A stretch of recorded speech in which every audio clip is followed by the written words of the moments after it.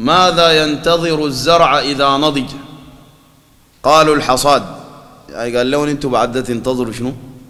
الموت. تستعدوا للموت. قال ثم التفت إلى الشباب وقال قد, تف قد تصيب الآفة الزرع قبل أن ينضج. قد تصيب الآفة الزرع قبل أن ينضج. يعني إنسان قد يموت وهو شاب. زي ما إنه في بعض الزرع قبل أن يبلغ مبلغ الحصاد فإنه تصيبه الآفة وده معروف عند أهل الزرع. ناس الزراعة بيقول لك دي آفة ودي البودة ودي شنو ودي شنو إلى آخره من أشياء الزراعة اللي بيعرفوها. وقد يكون زرع بادي جديد لكن تصيبه الآفة وكذلك الإنسان قد يكون شاب فيموت في ريعان الشباب وقد يبلغ في السن الشيء الكبير أو العمر الكبير ثم يموت. فالإنسان يستعيد في كل الأحوال. يستعيد في كل أحواله كما قال النبي صلى الله عليه وسلم كما في صحيح البخاري من رواية عبد الله ابن عمر ابن الخطاب رضي الله عنهما قال أخذ النبي صلى الله عليه وسلم بمنكبيه وقال كن في الدنيا كأنك غريب أو عابر سبيل. كن في الدنيا كأنك غريب أو عابر سبيل. الزول في غربة ما فتش المتاع في الغربة. ومشى للغربة عشان شيء معين وجاي يتمتع في بلده الأصلية. كن في الدنيا كأنك غريب أو عابر سبيل. وكذلك عابر السبيل لا يلتفت إلى الزينة وإلى الزخارف وإنما همه السعي في سفره ولا يستثقل ما بشيل شيء ثقيل ما في زول ماشي في سفر وبعدين في أثناء السفر شايل له طبق بتاع digital وبيجاي شايل له تلفزيون وبيتفرج ما فاضي للشغلة ماشي مسافر مسافر.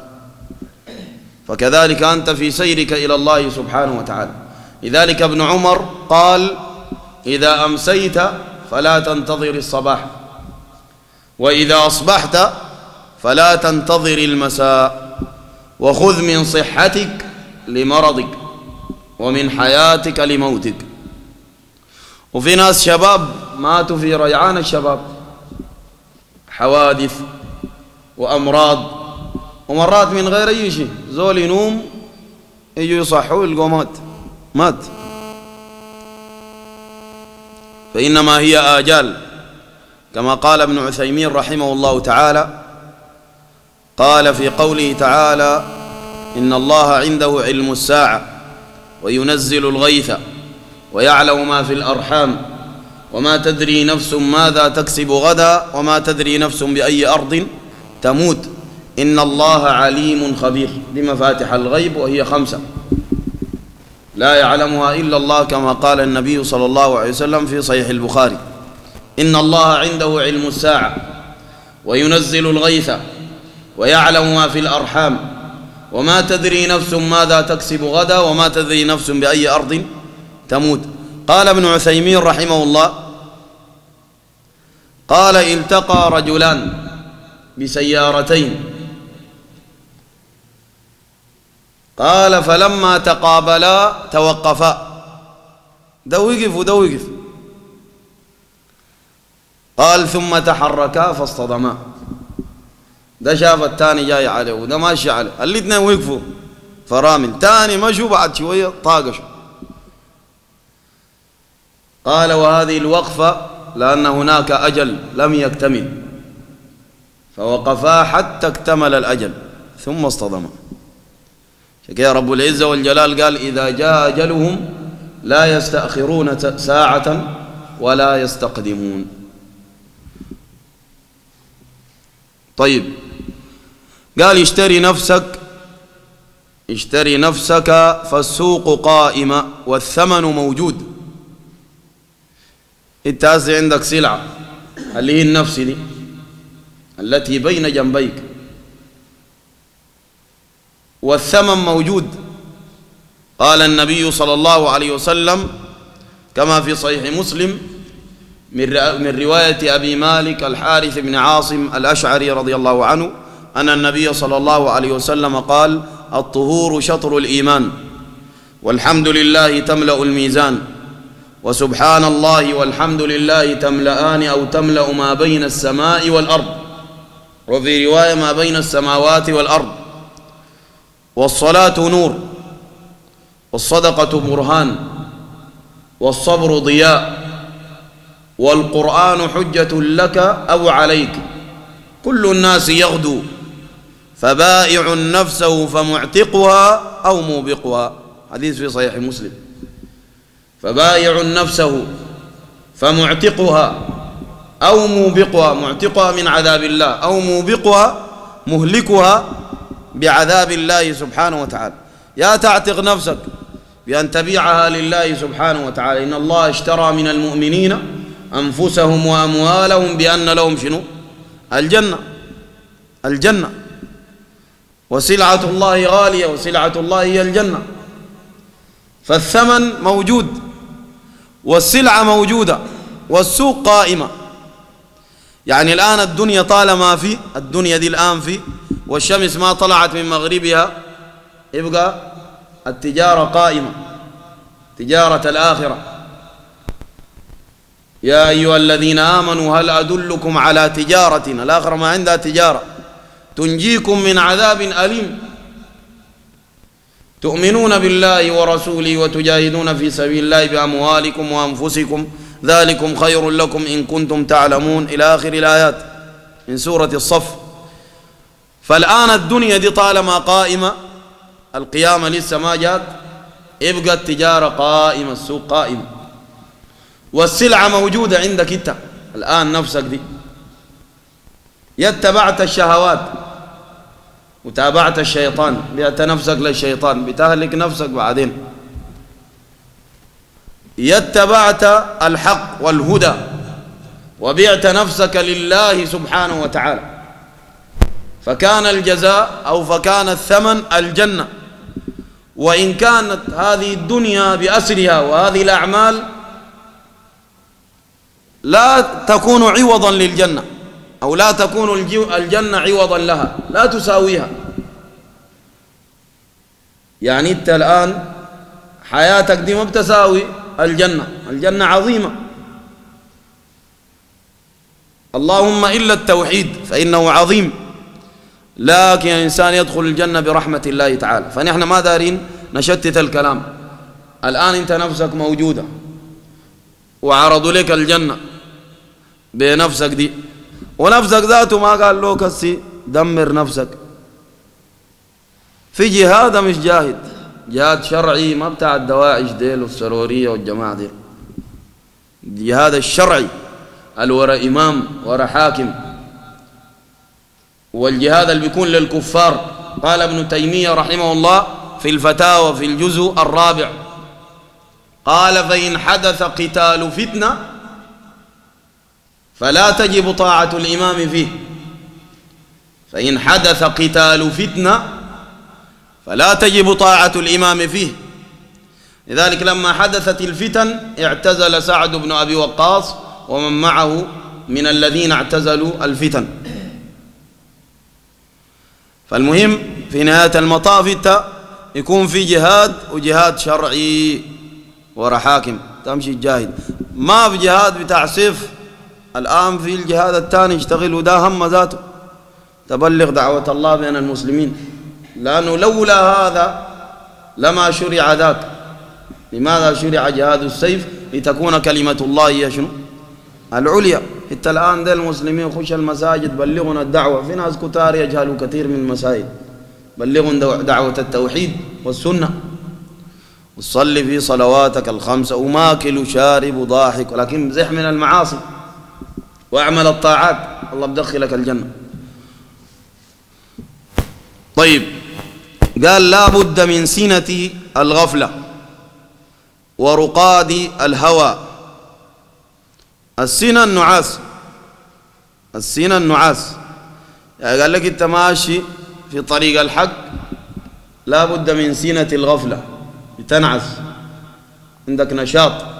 حاسس زول اللي بيتوب جديد تلقاه عنده همة في الطاعة وتلقاه قال لك كلمتين في الدين يبكي. وتلقاه قرآن واستغفار ولازم المسجد. بعد فترة شنو؟ بيبدأ يرخي. لكن مفروض يكون على الحق. يواصل. حتى لو رخى بسيط في جانب المستحبات الفرائض ما يفرط فيها. وتاني يحاول يرجع شنو؟ اجتهد اجتهد والذين جاهدوا فينا لنهدينهم سبلنا. وإن الله لمع المحسنين. بس المهم انت تجاهد وتكون مخلص. لأنه قالوا الذين جاهدوا شنو؟ فينا. فينا دي مهمة جدا. مش تجاهد عشان حاجة دنيوية. في الله سبحانه وتعالى. شكي رب العزة والجلال قال في القرآن ألم يأن للذين آمنوا؟ ألم يأتي الوقت؟ ألم يأن للذين آمنوا أن تخشع قلوبهم لذكر الله؟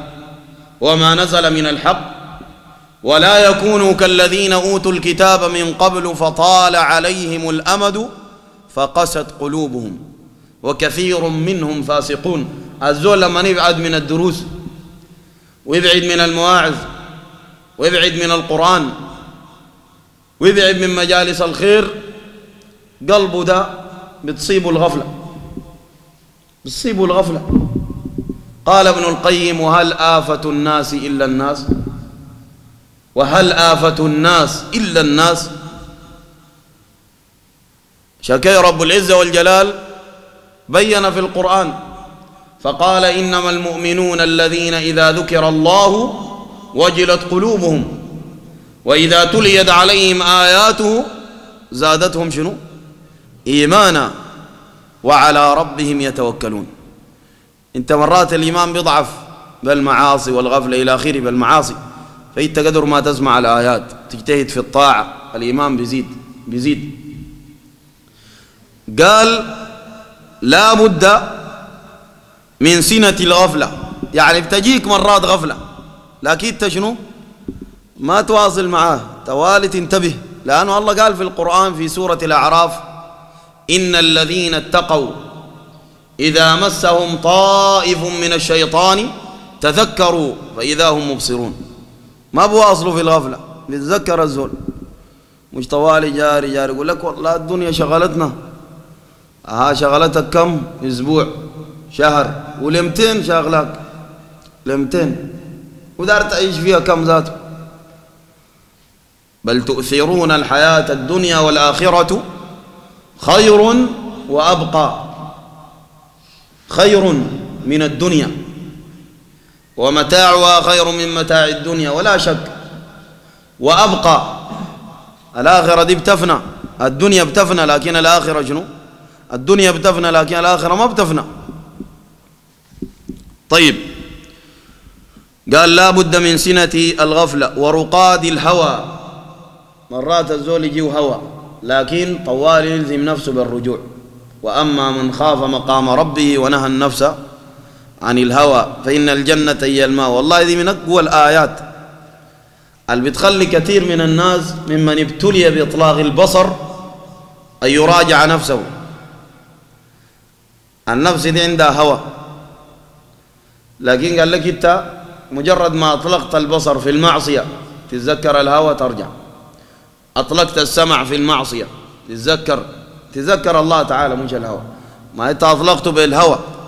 وأما من خاف مقام ربه ونهى النفس عن الهوى فإن الجنة هي المأوى تتذكر الله سبحانه وتعالى وعظمته وتتذكر العذاب وتتذكر ما عده الله للمتبعين لأهوائهم.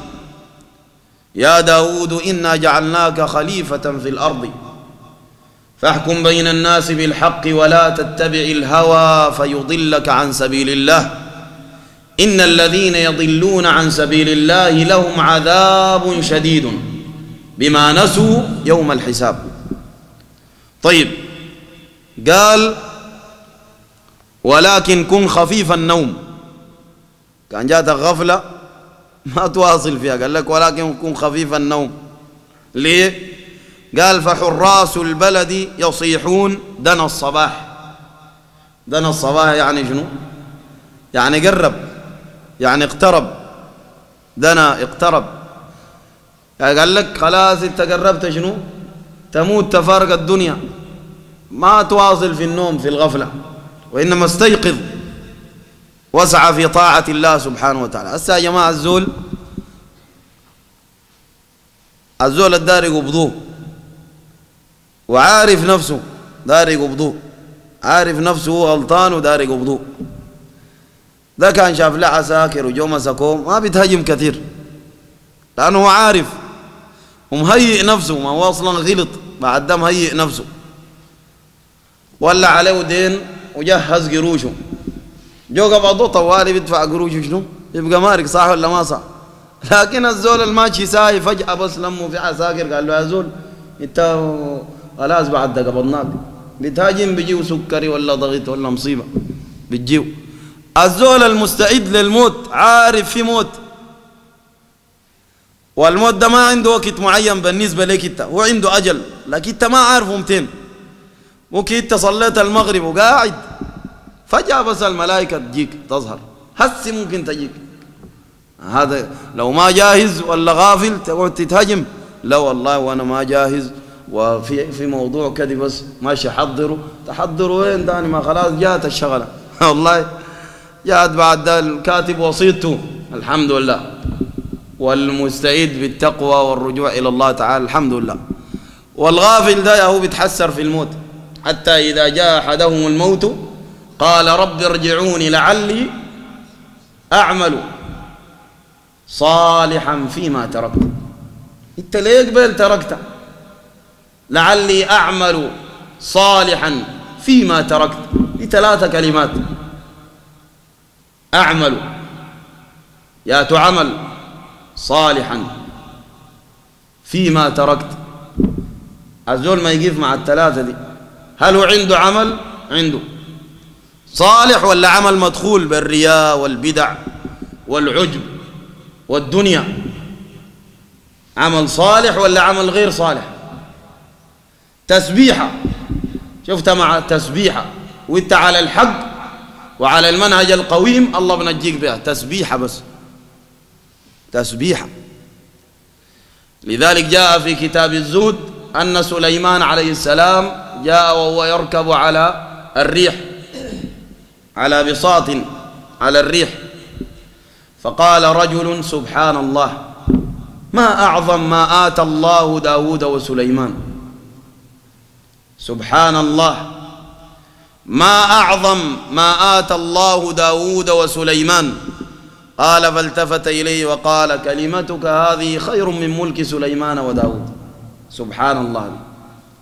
لأن الملك بيزول وسبحان الله بتبقى شنو؟ في الصحائف موجودة.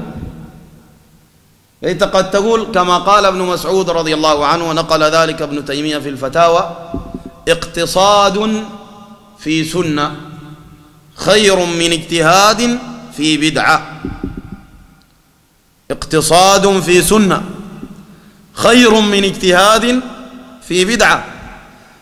الله سبحانه وتعالى قال الذي خلق الموت والحياة ليبلوكم أيكم أحسن ما قال أكثر. أيكم أحسن عملا. شفت عمل بسيط؟ تشوفه أنت بسيط. وعلى السنة وعلى الحق وصادق فيه ومخلص لله تعالى الله بنجيك به. غصن شجرة بس شوك. الرجل زال من الطريق. قال لعله يؤذي المسلمين أو الناس. فغفر الله له. شكر له سعيه فأدخله الجنة. شوك بس زحاو من الطريق. لذلك الإنسان يجتهد في الطاعة. قال نور العقل نور العقل يضيء في ليل الهوى. نور العقل يضيء في ليل الهوى. نور العقل. شكذا الشيخ سليمان الرحيلي حفظه الله تعالى. قال لا بد أن تضبط العاطفة بالعقل. لا بد أن تضبط العاطفة بالعقل. وأن يضبط العقل بالشرع. قال فهذه ثلاثة أمور. لا بد من اجتماعها. العاطفة والعقل والشرع. سألوا سؤال في الحرم المدني. وهو يدرس في كتاب التوحيد. يشرح في أبواب الكتاب في باب من الأبواب قل ادعوا الله أو ادعوا الرحمن تكلم عن الآيات أو عن قوله تعالى وهم يكفرون بالرحمن فسأله سائل قال له هل يجوز التبرك بآثار النبي صلى الله عليه وسلم؟ فقال السؤال أين آثاره الآن؟ أين آثاره؟ وأشر على المسجد المسجد المحل القديم اللي فيها الغرفة. قال لهم شايفين ده؟ كل الحاجات دي جديدة الآن. سيراميك ده في زمان رسول ما صلى الله عليه وسلم. والأشياء دي والزخرف والمراوح والحاجات دي كلها ما بقى الحاجات دي الموجودة دي الآن. قال نحن نقول أين آثاره؟ صلى الله عليه وسلم. نحن لا نمنع أن يتبرك به في نفسه صلى الله عليه وسلم أو في شيء خرج منه كشعر أو كبصاق إلى آخره. أو كالوضوء الذي كماء الوضوء الذي توضأ به أو كماء الوضوء الذي توضأ به النبي صلى الله عليه وسلم. كما فعل بعض الصحابة. لكن أين آثاره الآن؟ فقال نحن قال بعض الناس له جفاء في جانب النبي صلى الله عليه وسلم. له جفاء. وبعضهم في المقابل له عاطفة زائدة حتى أنه يغلو يغلو في الرسول عليه الصلاة والسلام. ينادي في الشدائد وهو إلى آخره. وحاجات كثيرة. وسوى أبيات شعر وكلام. ده, ده, ده يعني ده معنى كلام الشيخ. ده مناسبة الكلام. ولا يجوز التبرك بغيره صلى الله عليه وسلم. أنه ثبتت البركة لغيره كما قال ابن باز في كتاب تحفة الأخوان. بأجوبة تتعلق بأجوبة لأسئلة تتعلق عن تتعلق بأركان الإسلام. قال لا يجوز التبرك بغيره صلى الله عليه وسلم من هذه الأمة. والدليل أن أن أن أبا بكر أثبتت له البركة. هذه بعض بركتكم يا آل أبي بكر كما في البخاري في كتاب التيمم. فأثبتت البركة لأبي بكر ولم يثبت عن أحد من الصحابة أنه تبرك بمنه بأبي بكر. والأنبياء لهم بركة. وباركنا عليه وعلى إسحاق ومن ذريتهما محسن وظالم لنفسه مبين وجعلني مباركا أينما كنت. البركة في الأنبياء. لكن غير الأنبياء لا يتبرك بشنو؟ بأجسادهم. وإنما البركة في اتباع ما يقولونه من الحق وفي الاستفادة منهم من أقوالهم ومن أخلاقهم وإلى آخره. لكن لا يتبرك بالأجساد. إلا النبي صلى الله عليه وسلم. وقد فارق الدنيا فلا يتبرك به الآن بترابه بتراب القبر إلى آخره. فقال بعض الناس عنده جفاء للنبي صلى الله عليه وسلم وبعض الناس عنده عاطفة. لكن عاطفة شنو؟ في غير موضعها ما مضبوطة. فقال لا بد من ثلاثة أمور عاطفة وتضبط بالعقل بالعقل. وهذا العقل لا يترك له العنن وإنما يضبط بشنو؟ بالشرع. ما عقل زاي؟ بالشرع. العقل ذاته يضبطوه بشنو؟ بالشرع. لا بد من هذه الأمور الثلاثة من اجتماعها. طيب قال نور العقل يضيء في ليل الهوى. وصف الهوى بأنه شنو؟ ليل مظلم. فتلوح جادة الصواب. تظهر تلوح جادة الصواب. تظهر. هناك تلوح. فيتلمح البصير في ذلك النور عواقب الأمور. يعني شنو كلامه ده؟ نور العقل يضيء في ليل الهوى. فتلوح جادة الصواب. فيتلمح البصير في ذلك النور عواقب الأمور.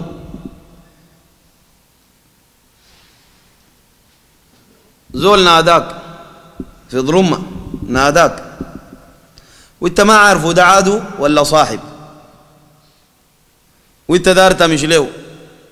فجأة جا نور كشف الزول ده واختفى. أو زاح منه وعرفت ده عدو. وجاهز لك بس لاح وجاهز لك. بتمشي عليه؟ ما بتمشي. الزول نفسه بتدعوه للمعاصي خلاص دار يمشي. العقل بيجي بيوريه عاقبة الأمور. المعصية دي بدايتها لذة لكن نهايتها شنو؟ حسرة. الزول بيشرب خمرة. في البداية دار يتلذذ. بعد شوية العاقبة شنو؟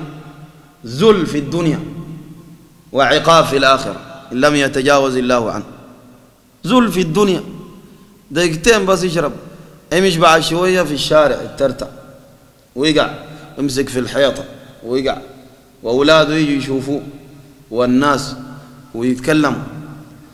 قبل ما يشرب الخمر لما يتذكر الأشياء دي يضبطها بعقله. بيقوم بيبتعد من شنو؟ يعني المعصية. لكن يربط الكلام ده بالشرع. مش مجرد حاجة الدنيا ساي لما يربطها بالشرع بالعاقبة التي تكون في الآخرة. شكي ابن عثيمين رحمه الله في حديث ابن عباس الذي قال فيه النبي صلى الله عليه وسلم وهو في الأربعين نووية إن الله كتب الحسنات والسيئات ثم بين ذلك فمن هم بحسنة ف فلم يعملها كتبها الله عنده حسنة كاملة فإن عملها كتبها الله عنده عشر حسنات. إلى أن قال ومن هم بسيئة فلم يعملها كتبها الله عنده حسنة كاملة. حسنة كاملة. قال ابن عثيمين رحمه الله تعالى جاءت روايات أخرى رواية أخرى أن النبي صلى الله عليه وسلم قال عن ربي عز وجل ومن هم بسيئة فلم يعملها من جراء. يعني خوفا من الله تعالى. يعني ترك السيئة مش عشان دنيا. مش ماشي يشرب خمرة بعد شوية شنو؟ سمع الدورية لافين والجماعة جوب عنده قال الشغلة دي والله ما دارينا اللي ما دايرنا السيئة ماشى انت ما خليتها لله. انت خليتها شنو؟ عشان دنيا. خايف حاجة من دنيا حاجة في الدنيا. لكن الذي يتركها لله ماشي للمعصية داري مش عليها يتذكر عظمة الله تعالى. فترك المعصية. فهذا يؤجر. يؤجر. عشان كي من السبعة الذين يظلهم الله في ظله يوم لا ظل إلا ظله. في البخاري ومسلم. ورجل دعته امرأة ذات منصب وجمال فقال إني أخاف الله. الزول ما عمل حسنة عملية يعني قام صلى ولا كذا لكن ترك المعصية لمنه لله. الله أكرم قال لك يظل في ظله يوم لا ظل إلا ظله.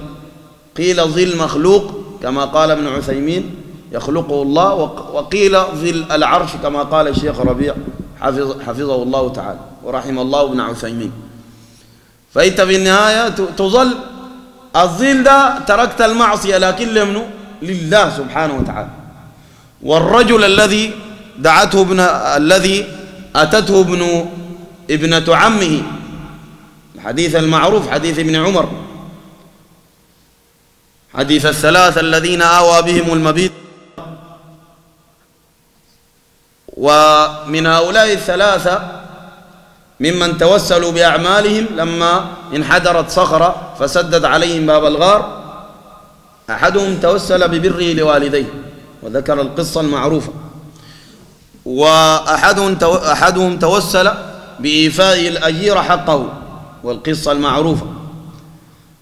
والثالث توسل بأنه كانت له ابنة عم قال كنت أحبها كأحب أو كما يحب الرجل المرأة.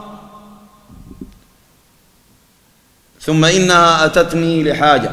أصابتها سنة وأتتني لحاجة. فقلت لها فدعوتها إلى الزنا. على أن أعطيها من المال مئة وعشرين درهما أو دينارا أو كما قال. المهم مال. قال فلما جلست منها مجلس الرجل من امرأته وجلست بين شعبها الأربع. قال ابن عثيمين أي بين الرجلين واليدين وهي كالشعب. قالت اتق الله ولا تفض الخاتم إلا بحقه. قال فقمت عنها وتركت لها المال. فلما ترك المعصية من أجل الله سبحانه وتعالى وخوفا من الله سبحانه وتعالى وقد كان في مبلغ في غاية الشهوة. وبعد أن تهيأت له المعصية. ومع هذا تركها لله تعالى. فنجاه الله عند الكربة. وهذا في الدنيا فكيف بالآخرة؟ دي الدنيا أثر في الدنيا الله نجاه من كربة. فما بالك في الآخرة؟ عشان كي إنسان يعني يخاف الله ويعظم الله ويحكم عقله المضبوط بالشرع. وليس العقل الدنيوي فحسب. مش حاجة الدنيا بس. وإنما الآخرة. قال يا بائعا نفسه. لا قال فهناك لا يتعذر مطلوب ولا يفقد محبوب. أي مطلوب بتلقاه. وأي محبوب جنبك تلقاه. في الجنة هناك. أنبياء ورسل صحابة. و إلى آخره. وتجد أهل الخير في الجنة. وتجد النعيم من المطاعم والمشارب وإلى آخره. طيب قال يا بائعا نفسه بهوى من حبه يعني بهوى من إذا أحببته يعني تهوى من إذا أحببته. ما الذي يحدث إذا أحببته؟ وهو حب الدنيا وحب أهل الدنيا وحب شيء من أشياء الدنيا ومن متاعها. يا بائعا نفسه بهوى من حبه ضنى ووصله أذى ووصله أذى وحسنه إلى فنى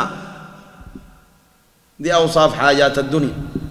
عشان كذا في مسند الطيالسي رحمه الله تعالى وحسنه الألباني أن النبي صلى الله عليه وسلم قال في آخر الحديث لما جاءه جبريل عليه السلام قال يا محمد عش ما شئت فإنك ميت.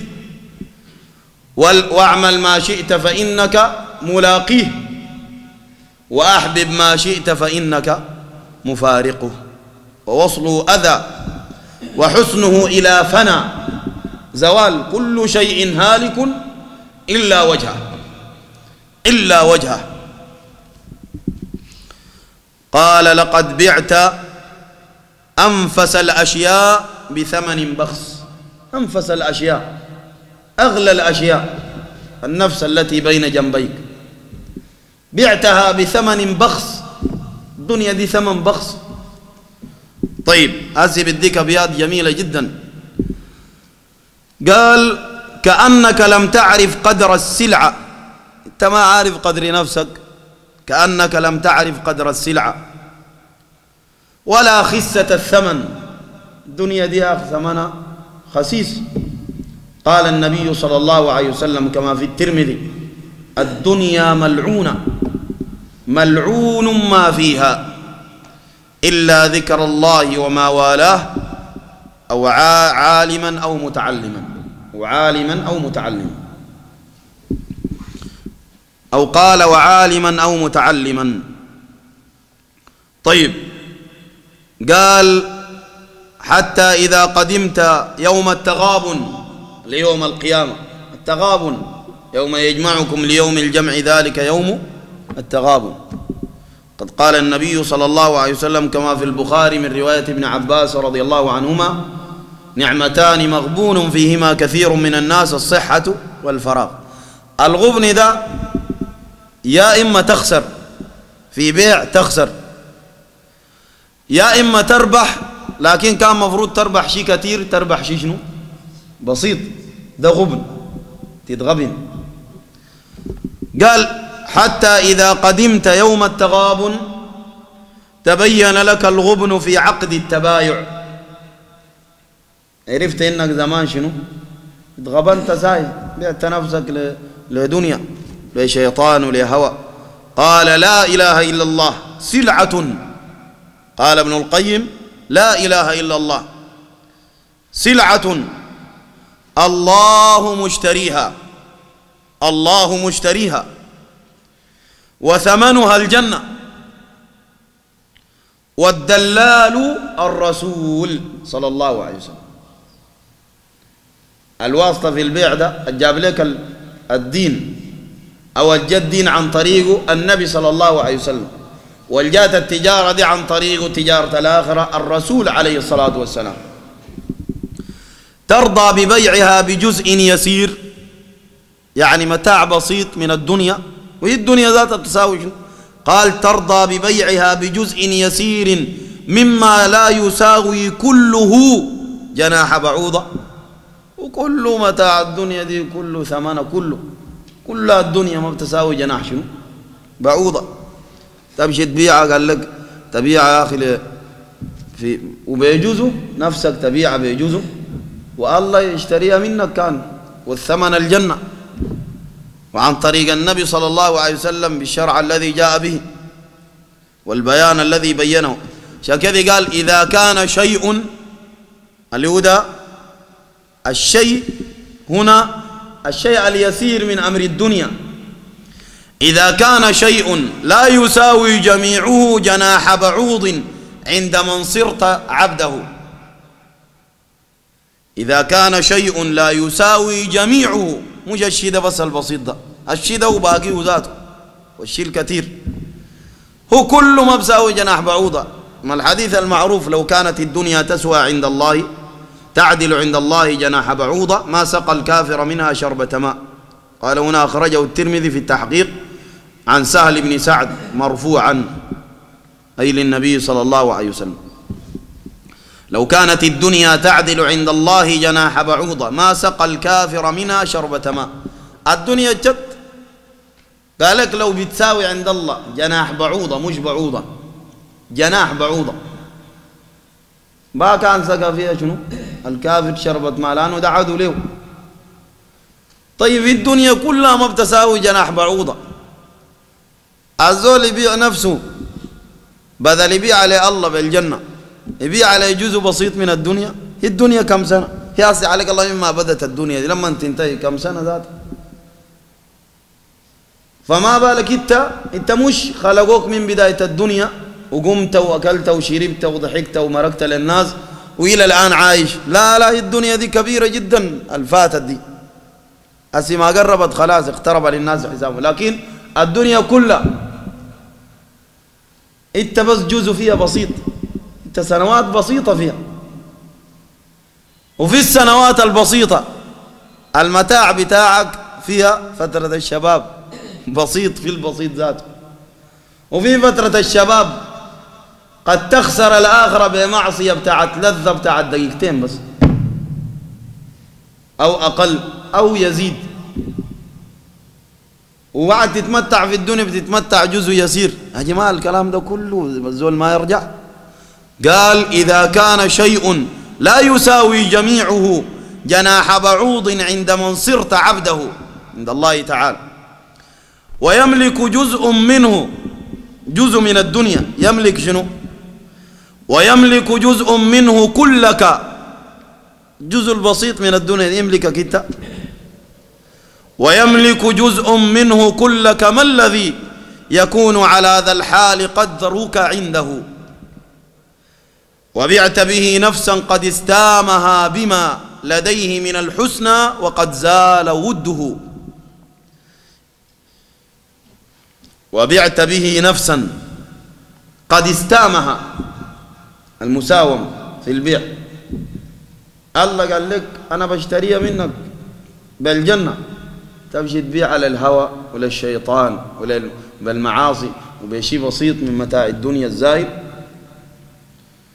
قال يا مخنث العزم أين أنت؟ فشكي الدنيا دي الزو ذات الدائرة ما بيلقاها كلها. أرجع تفسير ابن كثير. الدائرة الدنيا دي ذات والله لما نديك وخلاص الآخرة ما عندك فيها شيء ما ذات الدنيا كلها مبتشيلة. ومش بسيطة. بعد ده قال لك ما كلها. قال من كان يريد العاجلة. عجلنا له فيها ما نشاء لمن نريد. يعني ما بنديها لكل ذاته. ما نشاء لمن نريد. ثم جعلنا له جهنم يصلاها مذموما مدحورا. قال ابن كثير كقوله تعالى ذيك في سورة الإسراء كقوله في سورة الشورى من كان يريد حرث الآخرة نزد له في حرثه. ومن كان يريد حرث الدنيا شنو؟ نؤتيه منها منها ما كل ذاته وما له في الآخرة من نصيب. لا قال يا مخنث يا مخنث العزم أين أنت؟ والطريق طريق تعب فيه آدم. الكلام ده ما بيحتاج شرع عشان كان أنا بس بسرده سردا. طريق الجنة ده طريق الحق. قال طريق تعب فيه آدم. أرتأذن أذن وناح لأجله نوح. ورمي في النار الخليل. وأضجع للذبح إسماعيل. وبيع يوسف بثمن بخس. ولبث في السجن بضع سنين ونشر بالمنشار زكريا وذبح السيد الحصور يحيى وقاس الضر أيوب وزاد على المقدار بكاء داود وسار مع الوحش عيسى وعالج الفقر وأنواع الأذى محمد صلى الله عليه وسلم. تزهى أنت باللهو واللعب فيا دارها بالحزن إن مزارها قريب ولكن دون ذلك أهوال. الزول الدائرة الجنة دي وقال لك الطريق ده تعبوا في ناس قبليك والذكرون ديل كلهم أحسن مننا وبعد ده تعبوا. فكيف نحن ننال هذا النعيم العظيم مع الراحة؟ لذلك قال الله تعالى فإذا فرغت فانصب وإلى ربك فارغب. وقال تعالى واعبد ربك حتى يأتيك اليقين وقال سبحانه أم حسبتم أن, أن تدخلوا الجنة؟ ولما يأتكم مثل الذين خلوا من قبلكم مستهم البأساء والضراء وزلزلوا. شوف الزلزال ده قدر كيف؟ قال حتى يقول حتى يقول الرسول والذين آمنوا معه متى نصر الله. ما شاكين في النصر لكن من شدة الابتلاء هم ما شاكين أبدا في النصر لأنهم لا يشكون في وعد الله لكن من شدة الابتلاء. حتى يقول الرسول والذين آمنوا معه متى نصر الله؟ ألا إن نصر الله قريب. فالطريق ده فيه ابتلاء تصبر تصبر. وزمان في قتل وفي الزول بيسلم بخلي بيته بهاجر. وذول يسلم يعذبوه. خباب بن الأرد مولاته تضع النار. وتوقد على الحديد النار حتى يحمر. لما الحديد يبقى حمر. قال فما يطفئه إلا شحم ظهري. يرقدوا فيه لما شنو؟ لما يطفي الحديد ذاته. دش لما يطفي. اللي بيطفيه شنو؟ ما مويه. ظهروا وصبروا الناس لما في النهاية جاء الفرج من الله سبحانه وتعالى. صبروا. والنبي صلى الله عليه وسلم يهاجر فترة طويلة يمشي. فترة طويلة عشان الدعوة. يصل الطائف. فاللقوا بالحجارة. وحرشوا على المجانين والدم يسيل منه صلى الله عليه وسلم. وصابر ويسلم غلام فقط. غلام. عداس. ويجي راجع. ويأتيه ملك الجبال. ويأتيه جبريل عليه السلام. ومعه ملك الجبال. فيقول إن شئت أطبقت عليهم الأخشبين. أسل جبلين. يقول لعل الله يخرج من أصلابهم من يعبد الله ويصبر في الدعوة. ويبتلى المسلمون والمؤمنون البلاء العظيم. ونحن الكلام ده كله ما في الآن. ما في. بسيط شيء بسيط كلمات بس. كلمات. زول يستقيم لا بجلدوه لا بطردوه إلا القليل قليل. لا بعذبوه لا شيء بس كلمات بس تجي ماشي بالطريق أبدقن مرحب يا بشنب بس وتبقى ماري.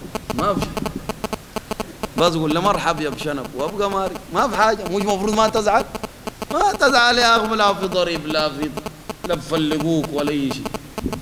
والله موضوع بسيط جدا. كلمات بس يتحملوها يا ناس. يتحملوها. الطريق ده نهايته سمع. الجنة. وأبقى حر. ما تبقى مع أي جماعة ولا أي حزب. أبقى حر بس مستقيم بس. لكن التوكل على الله عظيم على الله عظيم سينصره الله سبحانه وتعالى. الذين قال لهم الناس إن الناس قد جمعوا لكم فاخشوهم فزادهم إيمانا وقالوا حسبنا الله ونعم الوكيل. فانقلبوا بنعمة من الله وفضل لم يمسسهم سوء واتبعوا رضوان الله.